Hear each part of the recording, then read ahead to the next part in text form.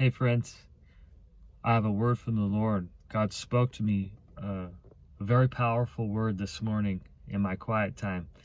He, he began to speak to me about his goodness. And the Father said this this is a word for America. He said, My goodness is overpowering, overcoming, overwhelming, and overturning every plan of the enemy, everything the enemy has done to destroy your nation. He said, My goodness is overpowering it. My goodness is overwhelming it. My goodness is overturning everything the enemy has done to kill, steal, and destroy your nation. Isn't that cool? That's awesome. He just and he also said this. He said, "The great eagle referring to America, he said, the great eagle will be reborn in the fires of revival and renewal. He is overturning, the Father is overturning everything that the enemy has done in America.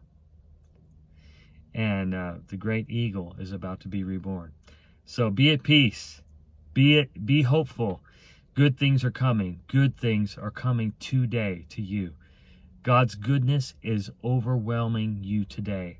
Good things are going to take place in your life. Good things are going to take place in the lives of your family members. Good things are going to take place in your state, in your county, and in your nation. In Jesus' name.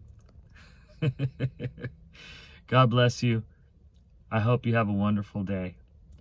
So remember that God is overturning everything the enemy has done. He's overwhelming the enemy with heaven's forces. They're being overwhelmed. They're being overrun.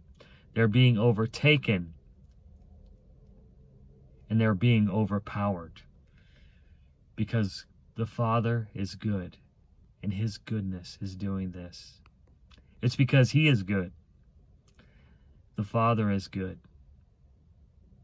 So, God bless you. Talk to you later. Be at peace.